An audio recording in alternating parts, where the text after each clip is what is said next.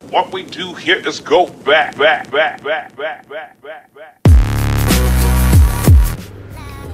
สวัสดีนะคะทุกคนเจอกับช anel อลิเฮดอีกแล้วนะคะ วันนี้ก็มาแบบว่ามืดมืดๆค่ำๆแบบนี้เนาะโอเคก็มีน้องนะคะที่ขอให้พี่ออยนะรีวิวแปรงแต่งหน้านะคะแปรงแต่งหน้าทั้งหมดที่มีนะคะ ก็จะเอามาพูดในคลิปนี้เลยนะคะ ก็มีตั้งแต่แพะแปรง มีตั้งแต่แปรงที่มีราคาแพงหน่อย แล้วก็แปรงโนเนมนะคะ แล้วก็แปรงที่แบบตามตลาดนัดทั่วไป หรือว่าแปรงที่มีราคาสูงหน่อยนะคะ ก็สามารถใช้ได้นะคะ ก็เดี๋ยววันนี้นะคะ จะมาพูดให้ฟังนะว่าแปรงแต่ละตัวนะคะที่ใช้อะมีแปรงอะไรบ้างแล้วก็ แต่ละชนิดของแปรงนะคะ ใช้ทำอะไรบ้าง เดี๋ยวเรามาดูกันเลยนะคะ ว่าแปรงแต่ละชิ้นนะคะ ที่ออยใช้แต่งหน้านะคะ มีอะไรบ้างนะคะก็อันแรกเลยนะคะอันนี้ก็จะเป็นของ n a k e d นะคะ เป็นแปรงแต่งหน้าที่มีขนาดค่อนข้างที่จะเล็กนะ แล้วก็มาในในรูปแบบของกระเป๋าแบบนี้นะคะ ก็เป็นแปรงแบบนี้นะ แปรงอันนี้นะคะ สามารถใช้ปัดแก้มได้นะคะสำหรับออยนะออยจะเอาไว้ใช้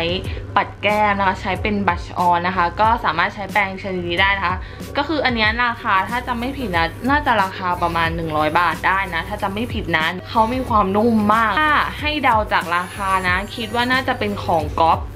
น่าจะไม่ใช่ของแท้นะคะ ถ้าเกิดเป็นของแท้คิดว่าน่าจะราคาสูงกว่านี้ แต่ว่าเขาก็ใช้ได้นะ เขาก็มีความนิ่มนะเนี่ย ไม่ได้ตำหน้าหรือว่าไม่ได้บาดผิวแต่อย่างใดเลยนะคะ เนี่ยก็สามารถใช้ได้เหมือนกัน ต่อไปนะคะก็จะเป็นทั้งหมดที่อยู่ในกล่องอันนี้นะคะอ่าอันนี้นะคะจะเป็นแบแปรงของแบรนด์ซูเปอร์มัมนะมีทั้งหมด 7 ชิ้นด้วยกันนะคะ ก็เดี๋ยวมาไล่กันทีละตัวเลยเนาะเริ่มจากแปรงชิ้นใหญ่ก่อนนะ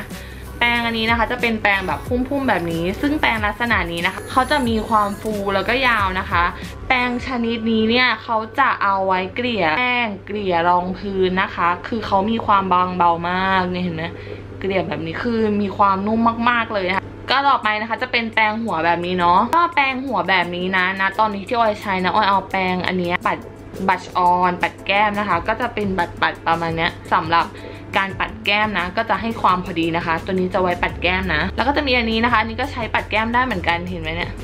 ก็ใช้ปัดแก้มได้เหมือนกันแต่จะเป็นหัวเล็กกว่าเมื่อกี้ต่อไปนะคะ ก็จะเป็นอันนี้นะ อันนี้นะคะสำหรับ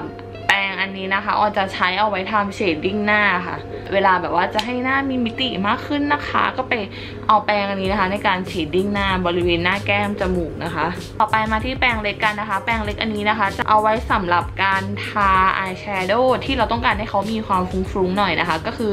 ถ้าปกติแล้วนะคะ เราก็จะใช้แปรงที่เป็นหัวแบบนี้ใช่ไหม เราจะใช้แปรงที่เป็นหัวแบบนี้ทาก่อนนะคะ รอบแรกแล้วก็ใช้แปรงที่เป็นหัวประมาณนี้นะคะ มาเกลี่ย blend นะคะ ให้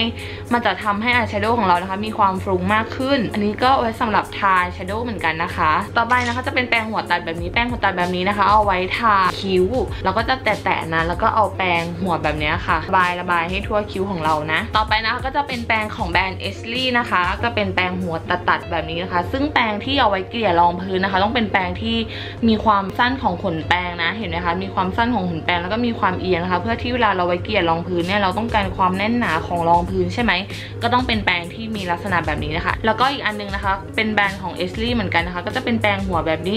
ซึ่งแปรงหัวแบบนี้นะคะออยจะเอาไว้สำหรับทำไฮไลท์ทำ shading ได้เหมือนกันนะคะเขาจะเป็นประมาณนี้เขาจะเอาไว้ปัดตรงตรงหน้าแก้มเนี่ยค่ะบริเวณนี้ของแก้มนะ ต่อไปนะคะก็จะเป็นอันนี้คืออันเนี้ยจะบอกว่าใช้มาหลายปีมากๆ ถ้าจำไม่ผิดนะ น่าจะประมาณ 4-5 ปีแล้วอะแปรงอันเนี้ยซื้อมาตั้งแต่สมัยเรียนอะ เขาเขาก็นิ่มนะเขานิ่มอยู่นะเนี่ยเขาให้แบบว่าเอาไว้ปัดแก้มแบบเนี้ยได้ หรือว่าเอาไว้ทำคอนทัวร์ทำคอนทัวร์อย่างเงี้ยก็คือใช้แปรงอันนี้ได้เหมือนกัน อันเนี้ยจำออยจำราคาไม่ได้แล้ว เพราะว่าซื้อมาหลายปีมากๆเลยนะคะมีความเยืนนะ แต่ว่าเขาก็ยังใช้ได้ดีเหมือนกันนะ ต่อไปนะคะก็เป็นแบรนด์สุดท้ายแล้วนะ อันนี้นะคะจะเป็นของแบรนด์ Otbo O B O D B O อะไม่แน่ใจว่าเขาอ่านว่า Otbo หรือเปล่านะ ก็จะเป็นเซตแปรงที่มีทั้งหมดอยู่ด้วยกันเนี่ย6 ชิ้นด้วยกันนะคะ อันนี้นะคะเอาไว้ใช้ปัดแก้มได้ เอาไว้ทำเชดดิ้งได้นะคะ ก็